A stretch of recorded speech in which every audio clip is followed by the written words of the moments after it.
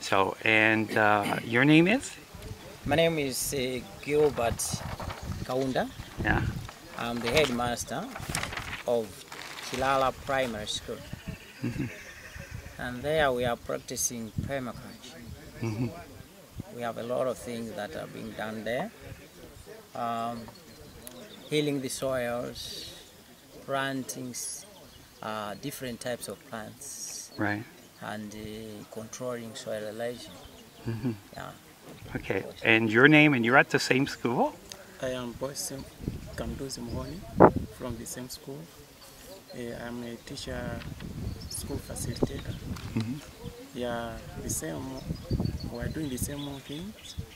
We are targeting the diversity of food to our learners. Now, to achieve this goal, we are practicing the Makasha. Yes. Okay.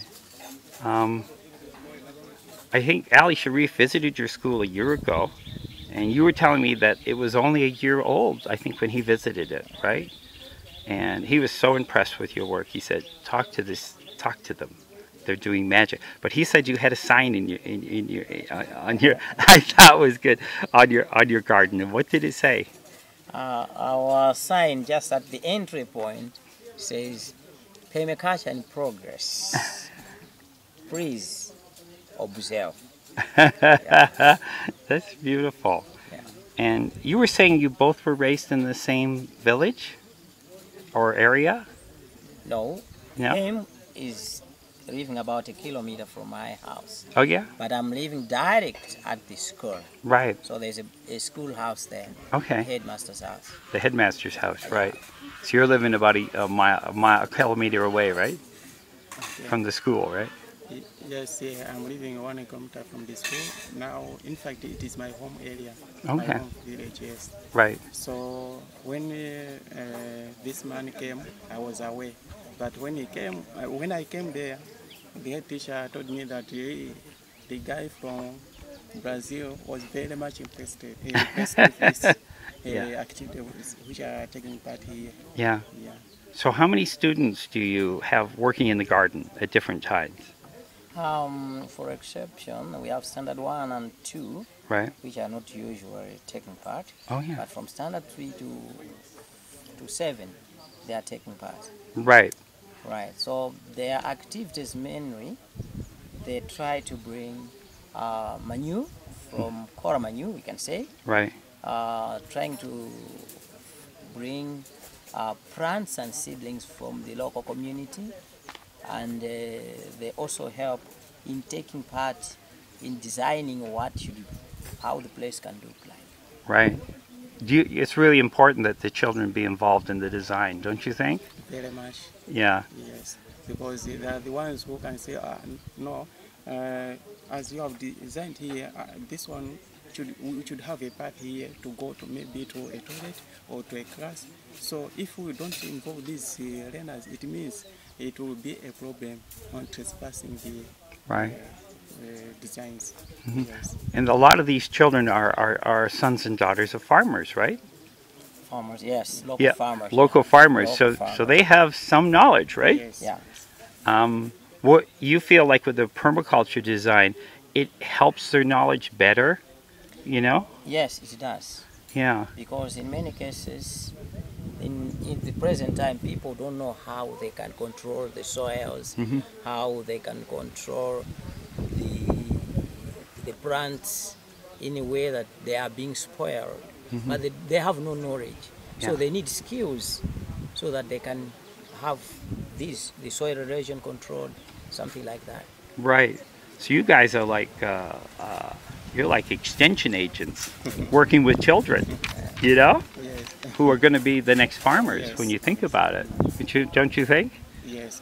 Uh, really, are, we are the ones who need to make the ch- uh, children to have a, a good knowledge about the future because they are the ones who tell their parents about what they are practicing and what is the good method of farming according to our program in Makati. Right. Are, are you able to feed a lot of the kids from the garden or give them food? Not necessarily at present because uh, we have just started. Right. So, but we uh, we know that in a few years to come, at least many will be fed. Right. But uh, the the harvest that we have, other fruits, at least everyone does get. Yeah. Yeah. Do you have the local parents involved with you, or is this a, a first step? Kids first, parents next. No, there are parents who are involved. Yeah. Yeah, But in making composts, Oh yeah. in plan, in making some plants, Right. uh, having gardens. So they are there. Yeah.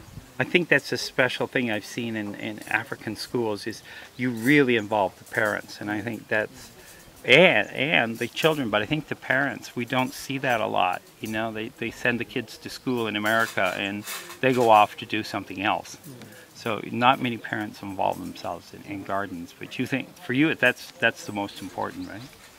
Yeah. And I think if you saw some videos which uh, Caroline and Stacia have taken, Yes. we see some of these parents Yeah. going around doing Yeah. some pieces. Oh, beautiful. Yeah. Um, yeah, go ahead. And we cannot say it is perfect because where there is something, there are some who oppose and uh, Mhm. some who support. Oh yeah. Yeah, so there are some who says uh, it's not a good thing, but uh, now those who are opposing now they are coming in. Yeah. Yeah, a lot of times you just got to go ahead with things, don't you? By example. Yeah, it's Yeah. amazing, isn't it? Yes. Yeah, example's the only way that you can challenge doubt. Yeah. Yes. Yeah. Because uh, you're asking people to look at gardening different, aren't you? Yeah.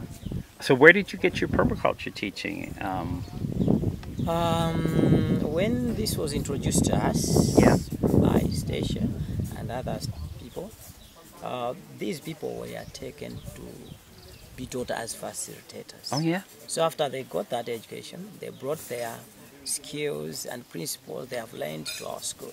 Right. So it was through these facilitators we can say, Oh. Yeah. Okay. Did the parents help put the school, uh, you know, work on the school to uh, when you first put the garden in? Was there some support from the parents? Yes, some did uh, turn up. Did turn out to help, eh? How many special parents aren't there?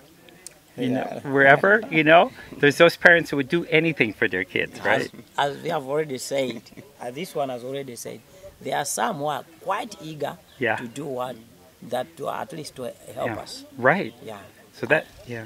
And even at, as I'm talking to you, you maybe if uh, you go there, Yeah. as you say, you are going to see, we didn't leave any uh, manure heaps, but you are going to find that those parents have done them. And I expect so. Yeah, well, Yeah. that's beautiful. Wow. Is there anything more you want to say about your school or a special little message or?